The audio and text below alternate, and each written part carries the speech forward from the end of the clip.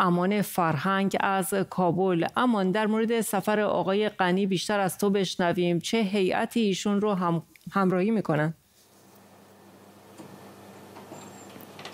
آقای غنی امروز با همراه با وزیر خارجه و سرور دانش معاون دوم ریاست جمهوری عازم تهران شد و لحظات پیش با آقای رئیسی در ریاست جمهوری ایران دیدار کردند. دو طرف بر همکاری اقتصادی و همکاری مشترک کابل و تهران تاکید کردند. آقای رئیسی گفتند که از حکومتی در افغانستان پشتیبانی می‌کنند که تمام حقوق اقلیت ها و تمام حقوق تمامی کسایی که در افغانستان زندگی می‌کنند رعایت شود. به نحوی گفت که از نظام جمهوری که حالا آقای غنی رئیس جمهوری افغانستان از حمایت می‌کنند. آقای غنی هم ابراز امتنان کرد از حمایت ایران از روند صلح افغانستان و از همکاری هایی که دو جانب در طول سالهای قبل داشته و تاکید کرد که این همکاری ها باید بیشتر ادامه پیدا بکنن. آقای رئیسی گفت که افغانستان به صلح نیاز داره و ایران از صلح همه جانبه و صلحی که خواست همه مردم باشه حمایت می‌کنن و آقای غنی قرار است که در مراسم تعلیف آقای رئیسی هم اشتراک بکنن و اونجا سخنرانی بکنن اما چقدر دیدار غنی و رئیسی می‌تونه به بهبود روابط تهران و کابل منجر بشه؟ اون هم در شرایطی که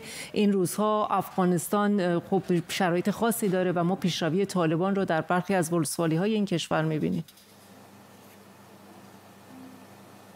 خب در دی آخر روابط ایران و طالبان بیشتر شده. چندین مقام طالبا به ایران سفر کردن مقام های ایرانی استقبال کردن و گفتن که حالا مشکلاتی که از جمله مشکلی که آب هرمن میان افغانستان ایران هست گفتن اکثر مقام های ایرانی و سیاسیون ایرانی گفتن که اگر طالبان در افغانستان به قدرت برسه مشکل آب حل خواهد شد. آقای غنی حالا بیشتر از هر زمان دیگر به اجماع منطقه و جهانی نیاز داره و تلاش می‌کنن که حمایت کشورهای منطقه از جمله ایران و پاکستان روسیه و چین را به دست بیاره و ایران روابط و نفوذ بسیار فوق العاده با طالبان داره از همین آقای غنی تلاش می‌کنن که روابط خوبتری با ایران داشته باشه. هرچند چندی پیش انتقادهای تندی از ایران شد. مقام های دولتی افغانستان گفتن که ایران حالا دست دوستی با دشمنان مردم افغانستان دراز کردن و با طالبان که همواره با مردم افغانستان را می‌کشن و با حکومت منتخب افغانستان و حکومت مشروع افغانستان در جنگ هستن ایران پشتیبانی می‌کنن و از زمان بسیار دیر میشه که حالا روابط کابل و تهران